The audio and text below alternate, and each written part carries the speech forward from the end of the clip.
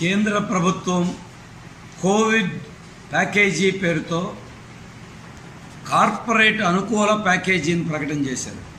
దేశం కష్టాల్లో ఉంటే ఆదుకోకుండా దేశాన్ని కార్పొరేట్లకు విదేశీ కంపెనీలకు తాకట్టు పెట్టేటువంటి చర్యల్ని బీజేపీ ప్రభుత్వం తీసుకుంటోంది ప్రజా వ్యతిరేకమైనటువంటి సంస్కరణలు బడా కంపెనీలకి లాభాలు కలిగించే సంస్కరణ అమలు చేస్తున్నారు. వాళ్ళకి కట్టబెట్టి పేద మధ్యతరగతి చిన్న వర్గాలని దెబ్బతీసే ఈ విధానాల మీద పోరాడుతూ ఉన్నాం.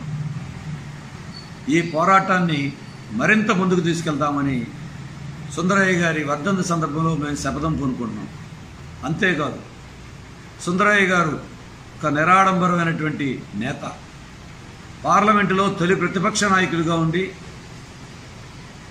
ప్రజాసేవకి అంకితమైనటువంటి మహానేత.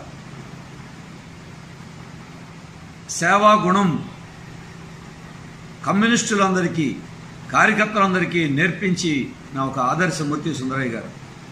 ఆ రోజే వేల మంది కార్యకర్తలతో బందరకాలో పొడికి దించి దేశానికి ఆదర్శ మార్గంగా నిలిచారు కమ్యూనిస్టులు సుందరయ్య గారి నేతృత్వంలో. ఈ కోవిడ్ కరోనా కష్టకాలంలో ప్రజలకి సేవా కార్యక్రమాలు కొనసాగిస్తూ తప్పనిసరిగా రాబోయే రోజుల్లో కూడా ఆ సేవని మరింత ముందుకు తీసుకెళ్ళటం సుందరయ్య గారికి అందించేటువంటి నిజమైన నివాళిగా మేము భావిస్తా ఉన్నాం. ప్రభుత్వం ఈ కష్టకాలంలో విద్యుత్ ఛార్జీల భారాన్ని మోపుతూ ఉంది. ఈ విద్యుత్ భారం ఏమిటని అడిగితే రాష్ట్ర ప్రభుత్వం అరెస్టులు చేపిస్తూ ఉంది. పోలీసులతో అణిచివేయటానికి ప్రయత్నం చేస్తూ ఉంది. గతంలో ప్రతిపక్షంలో ఉన్నప్పుడు పోరాడామని చెప్పే వైసీపీనే ఇవాళ ఉద్యమాలు అణిచివేయడానికి ప్రయత్నం చేస్తాం ఈ విద్యుత్ ఛార్జీలకు వ్యతిరేకంగా జరిగే ఉద్యమం ఒకరోజు సాగదు. దీన్ని కొనసాగిస్తాం. అంతేకాదు బీజేపీ విద్యుత్ ఛార్జీల మీద నిరసన పేరుతో ఒక నాటకం ఆడుతూ ఉంది.